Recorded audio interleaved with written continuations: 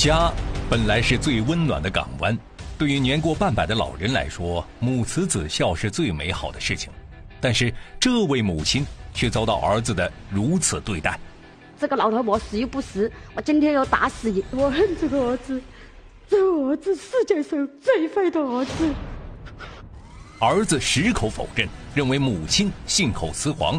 在家里话可以随便说，这里的话要担当责任的。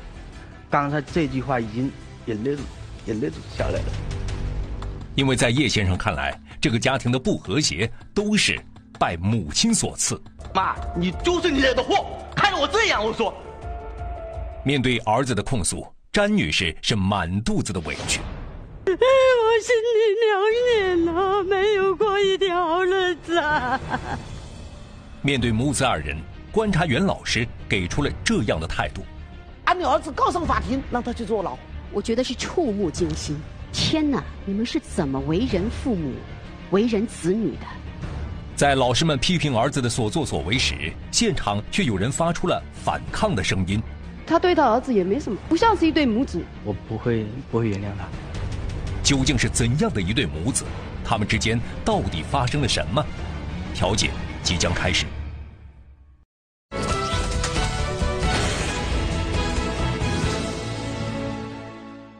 有问题来调解，来调解没问题。欢迎收看江西卫视金牌调解。本节目由豪氏首席特约播出。豪氏只用真材实料做好面包，每日坚果，每日营养，一瓶搞定。金牌调解指定健康饮品，均摇六种坚果。大家好，我是张燕，欢迎本场调解员胡建云胡老师，欢迎您。欢迎场上的观察员们，欢迎大家。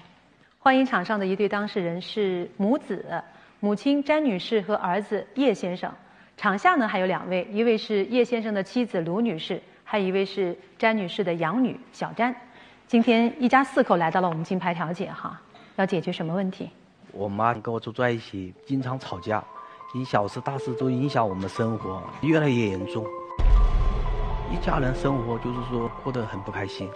我现在就到这来想跟我妈说，不要再吵了，没意思。就好像感觉这个家里的争吵更多的是妈妈带来的，是他主动发起的。对。詹女士呢？她也对女儿好，就是因他女儿吵架，没有什么事吵架的。老二生下来没有管过，生下来就是给我养。学费、图书、奶粉，什么都是我养，养到一十二岁。我恨这个儿子，这个儿子世界上最坏的儿子。我养着他，带着他，他这样对我，女儿打我，老婆打我，他打我，两个人又打又骂，赶我出去，给我衣服收掉去，给我东西扔出去。我房子我买了拿了钱，他要我出去，那个钱返给我，我可以出去。我老了到养老院去，我靠他靠不住。他老婆那么狠心，打了我脸上没一块好肉。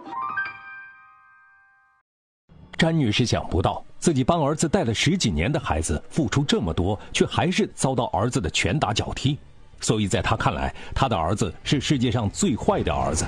而且就在二零一八年，当詹女士查出脑出血，要做一场性命攸关的手术时，她希望儿子可以承担一部分手术费用。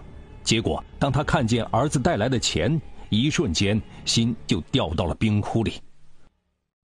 一八年检查了我头上有脑出血，还没有破，他就叫我要做手术。他讲不做手术，你这个是炸弹，人是哪时候破掉了都不知道的。我就打电话给他。他打电话进来，同意我做手术，他一分钱都没拿，叫女儿拿，女儿拿了四万。他就是带了一百块钱去南昌，开的车送的我去，买东西都是女婿买的。后来收了钱，大弟弟那个弟媳妇才钱租，送了两万块钱过来，就我自己还一点工资，七万多块钱做手术，舅妈从那个钱租来，宾馆的钱都是舅妈拿，他都不都付呃舅妈。他一分钱都不拿，还要向我要吃吃饭的钱。那他来了，他照顾你了吗？没有，他就是做手术，晚上有签字，他签了字那一晚上做过来，第二天他就走了。住了一起半个月院，就是来了一次，出来的晚上他两夫妻就走了。女儿就骂我，他就妈妈，哥哥就这样走啊，我想让他，他有三个小孩，他生活困难，我也体谅了他。我女儿就生我的气，他三个女儿，我也三个小孩耶。妈，在家里话可以随便说，这里的话要担当责任的。你到底儿子是给你在医院待了多长时间？是怎么样服侍你的？一天。你听我讲哈，你说一天是吧？你可以去问妹妹在这里，问小姨，我到底在医院待了多少天？是这样的，那时候我妈检查确实不错，我跟我妹妹当天就商量，我说我妈这个病是医生说的对，要马上检查。我开车带着我老婆带着我妹妹去找我妈，我说妈，这个病一定要看。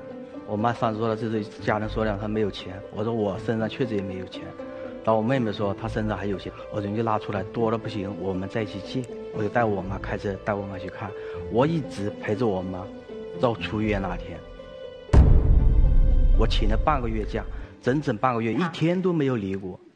她既然说我妈说整整是待的一天，刚才这句话已经，我眼泪都，眼泪都，眼泪都下来了。你看看，他还在这里说整整待了一天。你哪里有十五天你整整整整说待只待了一天。就是一天。是啊，你就是一天。我凭良心说，我不会说冤枉。是是。妹妹在，妹夫在，我妹妹在，一时也知道。